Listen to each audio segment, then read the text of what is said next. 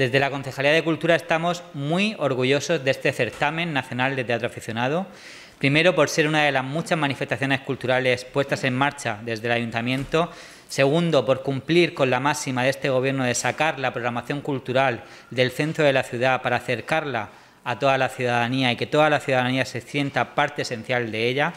Y tercero, porque damos a conocer mejor esa joya del modernismo que tenemos en el Algar, esa magnífica obra del patrimonio que deja encandilado a cualquier artista que pisa su escenario y que en estos últimos años hemos intentado que brille con más luz si cabe, gracias a diferentes actuaciones de mejora y al convenio que se estableció entre el Ayuntamiento y la Asociación Sociocultural que gestiona el teatro y que hoy nuevamente nos acompaña aquí esta mañana en representación de este magnífico teatro. Al tratarse de un certamen de ámbito nacional, se han presentado grupos de teatro aficionado procedentes de todo el país. Se ha hecho una selección que no es fácil para, para los que la hacen y que va a mostrar obras los días 30 de septiembre, 1 y 2 de octubre al público que quiera asistir y que puede adquirir su entrada a partir ya de, de esta tarde.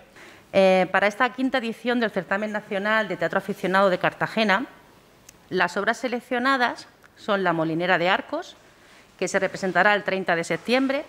El peor día de la historia, que se representará el 1 de octubre,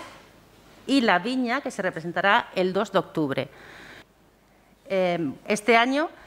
eh, las entradas de estos tres espectáculos